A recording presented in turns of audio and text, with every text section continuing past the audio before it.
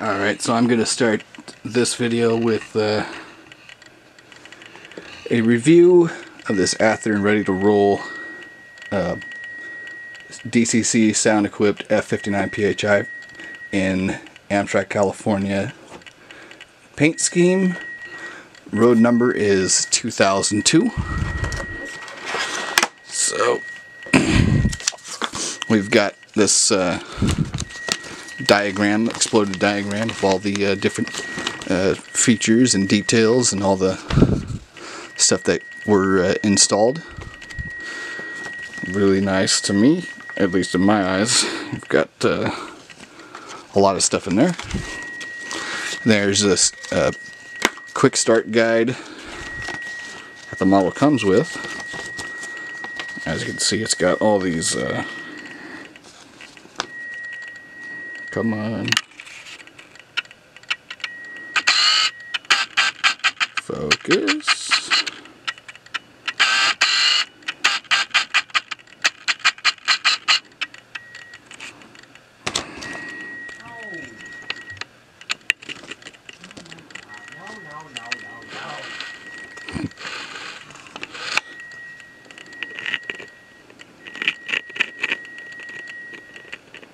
We got the uh, decoder function assignments. And a lot of cool, neat little features with this locomotive. So, it's got a really nice package. Way to go, Athearn. Take the pla that plastic wrapper off. And there it is in all its glory. Really neat to me. Um, grab my pointing stick here. I'm gonna go off on. I'm gonna go off on some details. So, so the first thing I'm gonna point out is it's got a nice uh, P PTC array detail here. Uh, it's got a five chime K5LA uh, horn detail in here. Uh, grab irons for and uh, door details, steps. It's got a pretty accurate paint scheme for 90s era. Radiators, grab irons on the rear. Let's just move that a little forward and see the uh, rear porch details. Uh, rear steps. Um, I might I'm not too sure if they're etched in, but I mean, I'm no expert in this. I'm just a uh, a modeler, and um, anyways, I'm going to be pointing out there's a rear light here. Got this uh, vent, uh, stanchions, and rear porch couplers. I think they're Kadees, if I'm not mistaken. Um, looking at the front of the windshield, windshield really nice uh, molded plastic as well as the uh, headlight hoods, uh, ditch lights, plows really nice, uh, pretty accurate for my from my understanding. Um, you've got the uh, nice streamline of the uh, of the fuel tank here. You've got your fuel uh, on both sides. You have fuel cap fuel shut off and then fuel gauges and, uh, uh, and then you got nice fluting and radiator grills on this side. Pretty accurate for a, a CDTX uh, locomotive from this era. And I do like the paint scheme.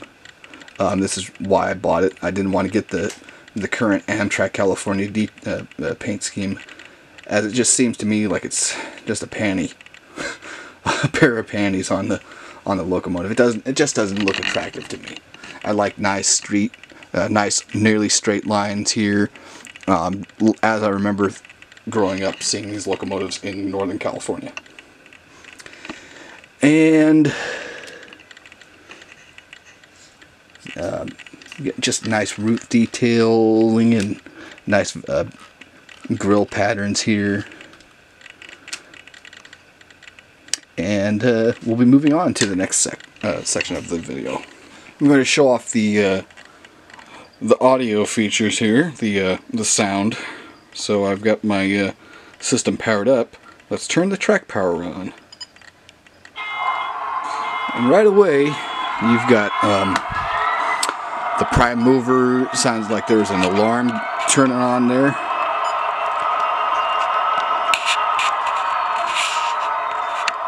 Let's get that in focus. Um, you got the prime mover going. You have several other features going on there. Let's. Uh, I've got my uh, my D my Digitrax stuff stuff going on here. So let's turn that nice K3LA horn.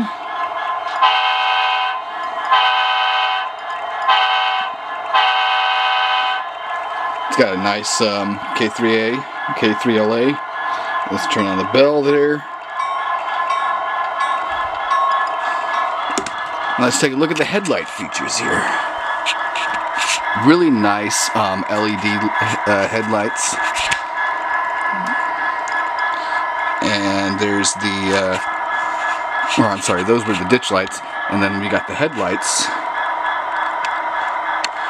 Let's put that in focus.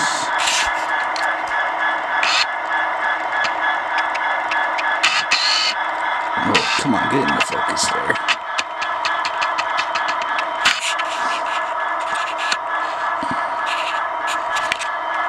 So the headlights come on, and uh, it's really, really bright. Let's take a look down here on track on track level.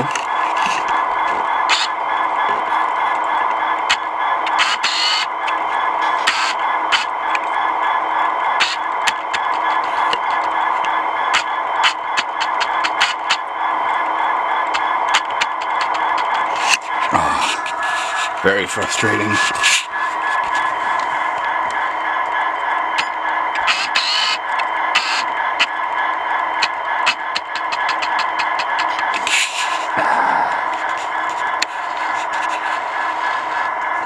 Camera does not want to cooperate with me today. So, you've got the bell. Nice uh, E-bell. Or is it a Mech bell? I'm not too familiar with the uh, bells there. The ditch lights uh, activate with the uh, horn signal. That's uh, uh, function 3.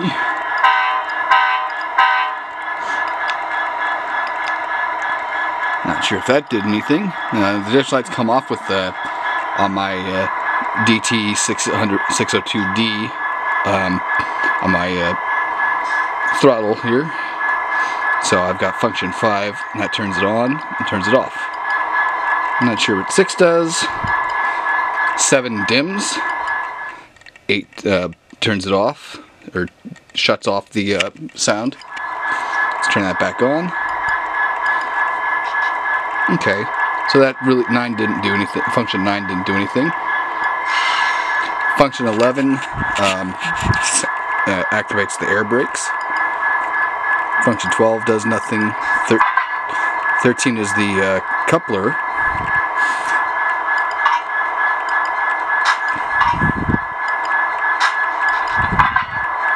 Oh, I'm going to have to use those sounds for uh, future uh, videos. 14 does nothing. 15 16 does nothing. 17 does nothing. 18 does nothing. 19 does nothing. And let's see what uh, 21 does nothing. 20 does nothing. 22 does nothing.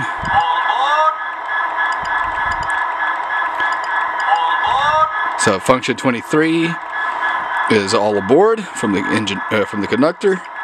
24 nothing audible. 25 nothing. 26 nothing. Oh wait. That sounds the uh, throttle position. So notch one, two, three, four, So that sounds the throttle. Interesting. So 26 takes down the throttle. 28.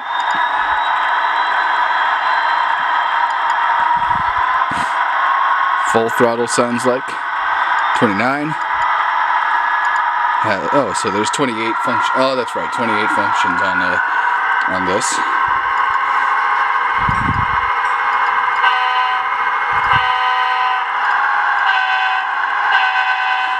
So on my layout, this is really going to be uh, useless.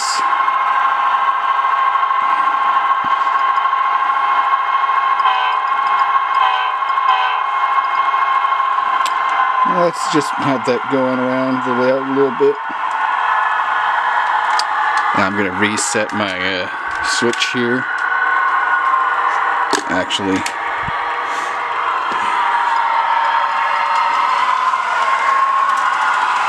have that go around behind the computer.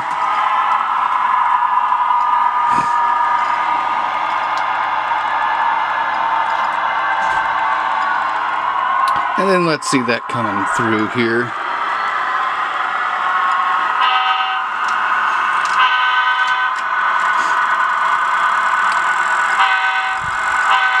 And we got a derailment. I don't know why. That shouldn't have derailed.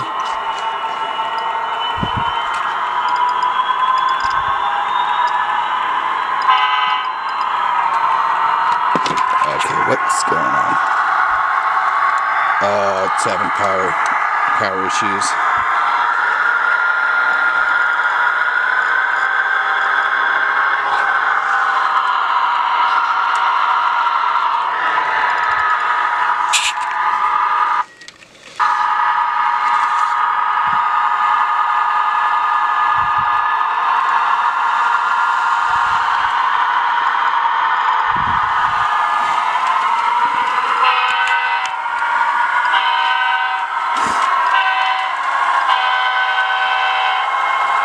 Nice um, K3LA uh, detail on that sound. And let's just uh, let's turn off all those other functions.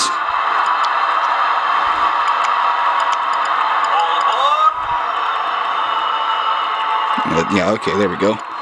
Back to uh, idle position.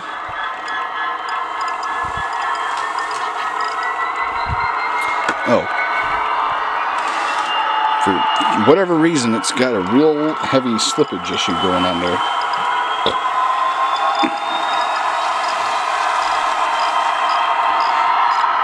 And now I want to take a look at the uh, reverse lights if they come on. And look at that, there is a reverse light. Let's see what other light features are on here.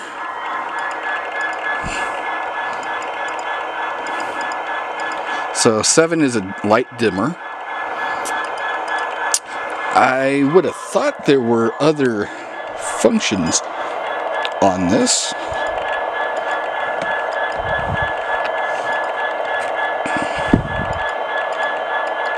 Five on the ditch lights. And there's only one rear LED light here. I, I could have sworn there were more to this. But then again, this is just the first up uh, unboxing and uh, review. So now I'm going to uh, take this off the late the, the track for a moment, and we're going to look at the uh, fire the engineer's side of the locomotive. Not much different, other than um, this being the true direction that the train would probably more likely uh, operate on. But I do, I do love the look of this. I do love the paint scheme from the early 2000s and the, the, the original paint scheme that was as delivered in the 1990s. And let's back up the train, or back up this engine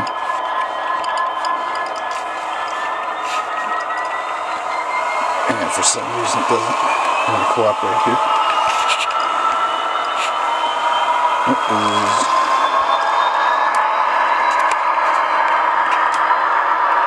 And we're going to couple onto this train here.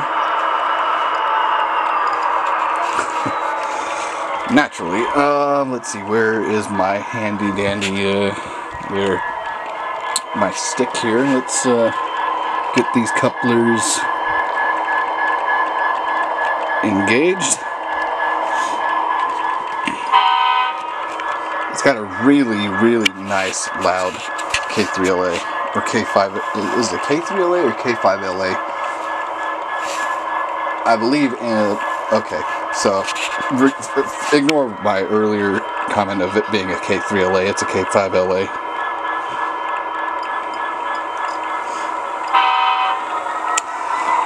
There's something I don't know what's going on here, but it's not okay, there's some kind of slippage going on there.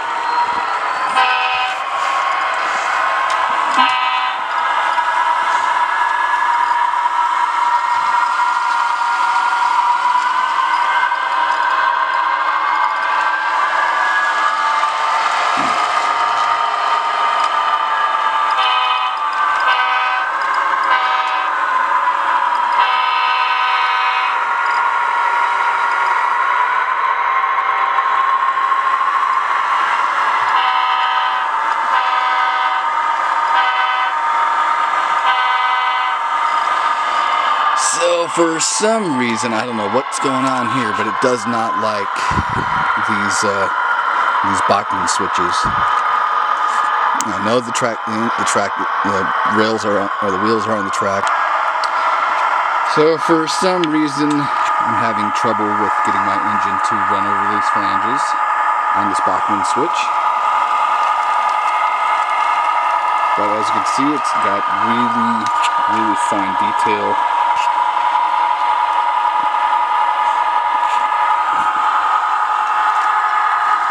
hopefully when I get my actual uh, California cars going, this will be a little more easier to run them. But let's push this train back into the uh, into the yard here.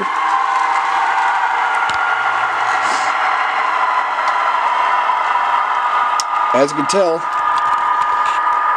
I like this engine. I like it a lot.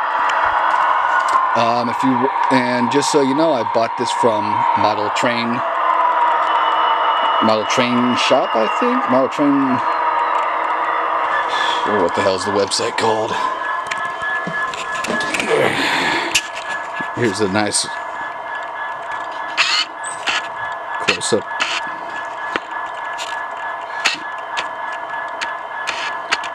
I did buy this locomotive online um, from modeltrainstuff.com. Um, this was about 200 and something dollars. I'm going to look at my uh, confirmation.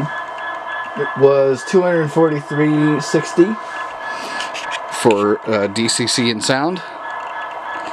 Um, it's just a, for me as a Northern California uh, resident, um, seeing these locomotives on a near daily basis. Come on, focus. There we go. On a near daily basis in uh, Davis, California, about 10 miles uh, south of where I currently live.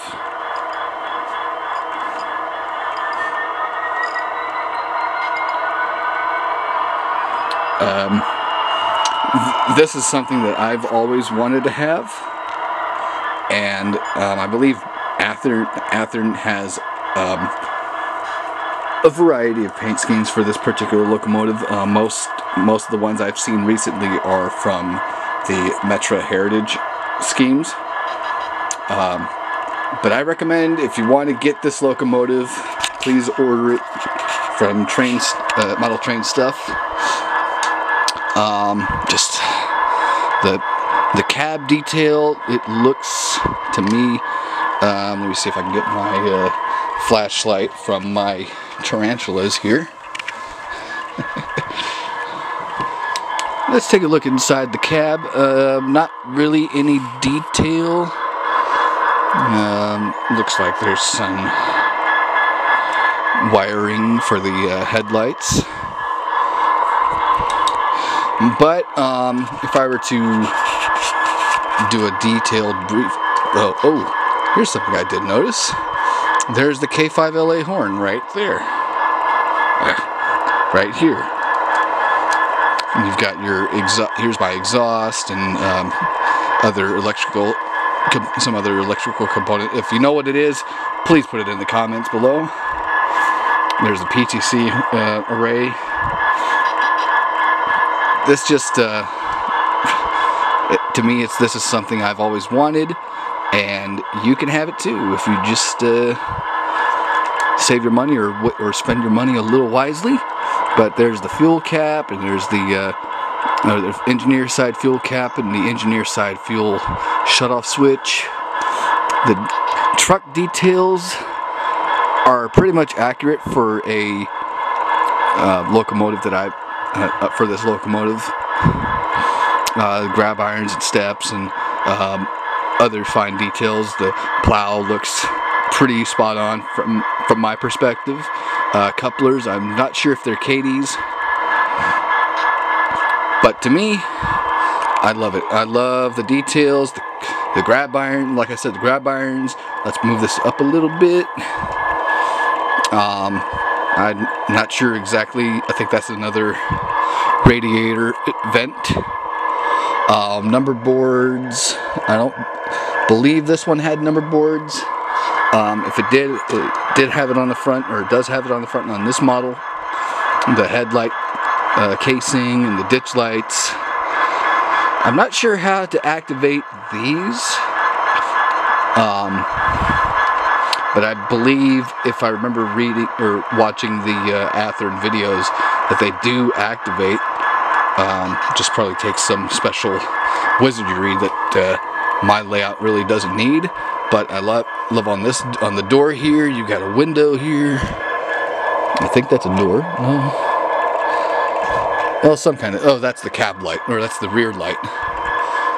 Where's the rear light here? Forget which. Let's find out. okay, so that that right there is the rear rear light. Um, hopefully, hopefully this uh, can allow me to run on some layouts. I do want to do that someday. But as you can tell, right now I've got my layout kind of uh, topsy-turvy. Um, if you look over here, I'm redoing... Okay, let's shut that off. I'm kind of redoing um, the track work in this area here. Um, I've got a little LED light system going on here. So the idea is I'm going to have track connecting here. I'm going to have a spacer track or spacer piece of track here and then I'm going to have a second uh, track here going along the main line and the siding is going to be a little different I'm just, uh, I've decided to switch from other stuff. But um, anyways, that's going to be another totally different video. I just wanted to focus on this locomotive, this Athearn F59 PHI in Amtrak California scheme uh, in the 1990s, as modeled in, or as painted in the 1990s. Um, and the locomotive I bought is 2002 and um, it's not really proto it's not really you this locomotive wouldn't be running on my layout but it's kind of fun to just put it on a uh, on a layout and demonstrate it instead of just showing a uh, you know a, a quick mock-up video like other reviewers do. But uh, like I said as far as I can tell every detail on this is spot on now there might be some other uh, modelers who might nit nitpick the details. I'm not exactly I'm not exactly a stickler for ultra detailing, but if you want to run it like a like a real Amtrak train. Here it is. And once again, uh, I want to thank you all for watching this video. Please like and subscribe. And I, I mean, I mean it. Please like and subscribe. I need I need more subscribers. But uh, there it is.